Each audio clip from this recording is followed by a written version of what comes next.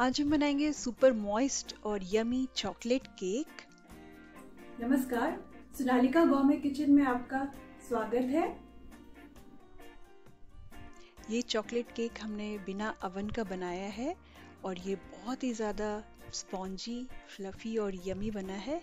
ये देखिए कितना स्वादिष्ट ये केक बना है। तो इसी तरह की नई रेसिपीज़ के लिए हमारा चैनल सब्सक्राइब करें और बेल आइकन ज़रूर से दबाएँ।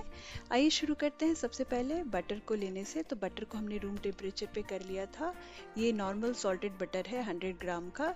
इसको अच्छे से मिलाएँ और इसमें गर्म दूध डालें। तो गर्म दूध यहाँ पे हमने एक कप गर्म करके रख लिया है, लेकिन इसको बैचेस में डालेंगे। थोड़ा सा दूध अभी डाल रहे हैं थोड़ा सा ज़रूरत पड़ने पर थोड़ी थोड़ी मात्रा में डालते जाएँगे। अब इसमें हम चीनी मिलाएँगे और वैनिला एसेंस मिलाएँगे। तो चीनी डाल के उसको एक बार मिला लें। उसके बाद वैनिला एसेंस डालेंगे।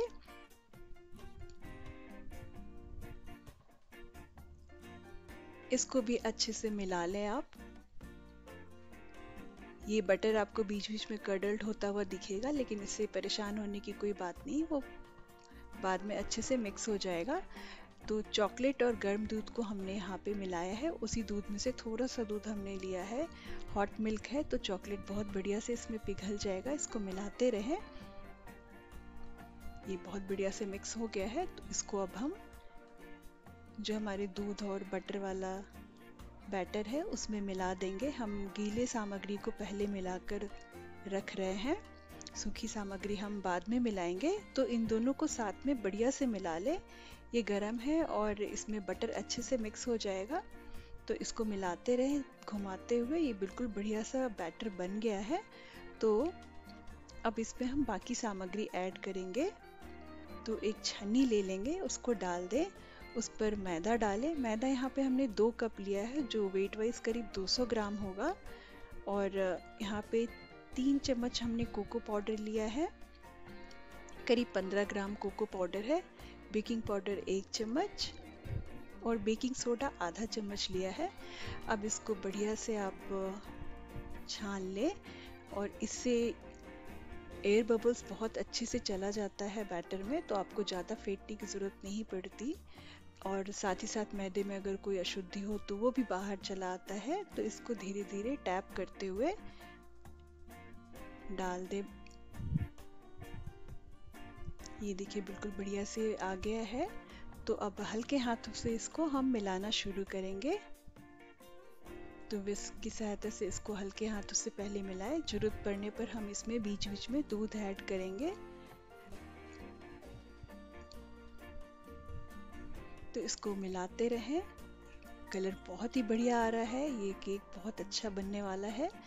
तो अब थोड़ा सा ये बैटर गाढ़ा हो गया है। तो इसमें अब हमने जो गर्म दूध लिया था उसको फिर से थोड़ी सी मात्रा डालकर मिलाएँगे। एक साथ बहुत ज़्यादा ना मिलाएँ, इससे बैटर का जो बैटर की कंसिस्टेंसी है, वो बिगड़ सकती है। तो थोड़ी थोड़ी मात्रा में अगर मिलाएँगे तो आपको पता चलता रहेगा कि कितना दूध ऐड करना है और कितनी देर इसको विस्क करना है।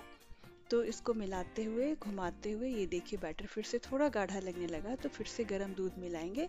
दूध का टेम्परेचर थोड़ा वार्म या गर्म वाले साइड पे ही रखें। इससे आपका बैटर बहुत अच्छे से मिक्स होगा।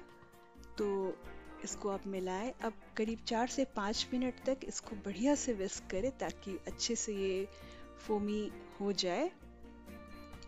तो इसको हमें बहुत बढ़िया से मिक्स करना है। ये इस तरह से स्मूथ टेक्सचर वाला बैटर हमें बनाना है। अभी थोड़ा और मिक्स करने की ज़रूरत है।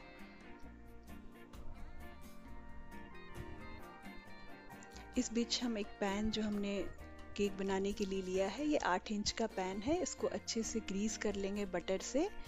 थोड़े से ऊँचे किनारों वाला हमने लिया है, चिकने किनारों वाला, ताकि आसानी से इससे केक निकल जाए। और साथ ही साथ केक फूल कर अपने साइज़ का डबल हो जाएगा तो उस हिसाब से आप पैन का चुनाव करें। तो इसको अच्छे से ग्रीस करके साइड रख लें। अब एक कुकर हमने लिया है, जिसको हम मीडियम हीट पर चढ़ा देंगे।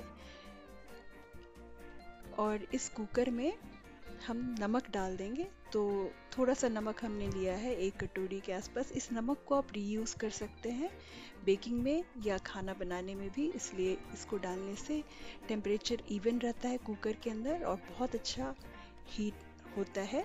उसमें एक स्टैंड डाल लें। अब ढक्कन लगाकर इसको प्री हीट करते हैं। आज यहाँ पे मीडियम है। इस बीच हम जब तक वो प्री हीट हो रहा है बैटर को थोड़ा सा और मिला लेते हैं। बिल्कुल स्मूथ टेक्सचर वाला बैटर हमें चाहिए। ये अब बिल्कुल बढ़िया सा बैटर रेडी हो गया। ये देखिए कितना बढ़िया देखने में लग रहा है। तो अब हमने जो पैन को ग्रीस किया था, उसमें थोड़ा सा मैदा डाल के डस्ट कर लेंगे। आपके पास कोको पाउडर हो तो आप वो भी डाल के इसको उससे डस्ट कर सकते हैं। इससे कलर बहुत अच्छा आता है। मेरे पास कोको पाउडर नहीं था तो हमने मैदा यहाँ पे डाल लिया। तो इसके बाद, इसको डालने के बाद आप जो बैटर है, उसको डाल दें। सारे बैटर को एक साथ डाल दें। ये बहुत ही बढ़िया बैटर रेडी हुआ है। इसको अच्छे से स्प्रेड कर दें। इसको थोड़ा सा टैप कर ले ताकि जो इसमें एक्स्ट्रा एयर बबल्स है निकल जाए और बढ़िया से ये फैल जाएगा। अब हमारा जो कुकर है, वो बढ़िया से गर्म हो चुका है तो इसको फटाफट इसके अंदर डालकर हम पैक कर देंगे। तो सावधानी पूर्वक इसको डालें और इसको बंद करें। इसमें कुकर की सीटी को हटा दें और गैस को अब हम थोड़ा कम कर देंगे। तो अभी तक हमारा जो मीडियम हीट पे गैस था, इसको हमने लो लेवल पे कर दिया है। अब इस हीट पर हम इसको करीब करीब 40 टू 42 मिनट के तक पकाएँगे तो ये करीब 40 मिनट के बाद हमारा जो केक है बिल्कुल बढ़िया से रेडी हो गया है। ये फूल कर अपने साइज़ का डबल हो गया है और ये बहुत सुंदर दिख रहा है। तो इसको ढक कर थोड़ा ठंडा होने दें, उसके बाद हम पलटेंगे। तो जब ये थोड़ा वार्म है, तब हमने इसको पलट लिया है। अभी ये पूरी तरह से ठंडा नहीं हुआ है। अब इसको रैक पे आप ठंडा होने के लिए छोड़ दें। ये देखिए कितना बढ़िया और स्पॉन्जी केक रेडी हुआ है। ये जो वाइट बैचेस है, ये पैचेस इस पे आ गया है, वो मैदे का है। कोको पाउडर डालने से वो पैचेस नहीं आता। अब एक बड़े बोल में शुगर ले ले चॉकलेट ले ले और वैनिला एसेंस डाल ले। तो चॉकलेट यहाँ पे हर, हमने करीब 200 ग्राम लिया है और उसमें फिर से एक चौथाई कप गर्म दूध हमने डाल लिया है। अब इसको अच्छे से मिलाएँ। ज़रूरत पड़े तो डबल ब्रॉयलर की सहायता से आप इसको गरम करके मिक्स करें। एक गरम पानी के पतीले में इसको डाल लें और तब मिक्स करें। ये बहुत बढ़िया से हमारा ये गनाश बन के रेडी हो गया है। बिल्कुल बढ़िया सा मिक्सचर रेडी है। तो इसको साइड करके रख दें और केक चेक करते हैं। केक बिल्कुल बढ़िया से ठंडा हो गया है, बहुत ही ज़्यादा सुंदर स्पॉन्जी केक बना है। तो ऊपर के लेयर को हम थोड़ा सा हटा देंगे ताकि इसमें गनाश का बढ़िया से लेयर आए। आप चाहें तो ना भी हटाए इसको, ये देखिए कितना बढ़िया स्पॉन्जी केक बना है। अब इसको थोड़ा सा ऊपर, ऊपरी सतह को समतल कर लेते हैं। तो ये जो शेविंग से हम बाद में केक डेकोरेशन में यूज़ करेंगे। तो एक नाइफ को केक के नीचे डाल लें और जो गनाश हमने बनाया था, वो रैक के ऊपर रख के नीचे एक प्लेट डाल लें और उसके बाद गनाश को केक के ऊपर डालें। अच्छे से स्प्रेड करें। जो भी एक्स्ट्रा चॉकलेट है, इसको आप बाद में फिर से यूज़ कर सकते हैं। तो अच्छे से डालने के बाद इसको थोड़ी देर के लिए हम फ्रिज में सेट होने के लिए रख देंगे। तो करीब आधे घंटे में ये बढ़िया से केक हमारा सेट हो जाएगा। अब इसको अच्छे से जब हमने डाल लिया है तो करीब आधे घंटे के लिए फ्रिज में रख देंगे और आधे घंटे बाद इसको हम निकाल लेंगे। ये देखिए कितना बढ़िया ग्लेज आया है केक पे।